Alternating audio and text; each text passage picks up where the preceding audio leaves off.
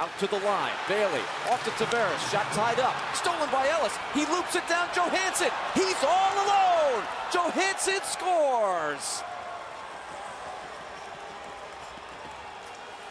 Ryan Johansen puts this one away.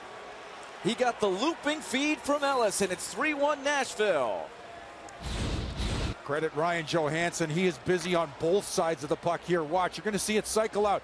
He does a terrific job right there. Goes stick on stick, forces the turnover. The turnover comes to Ellis, and then he has the presence of mind. Hey, Ellis is going to claim this. I'm going to release out into the neutral zone.